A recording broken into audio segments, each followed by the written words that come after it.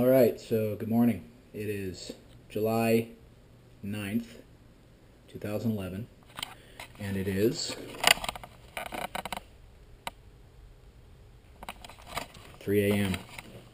It's time for the death ride. I'll check back in with you later.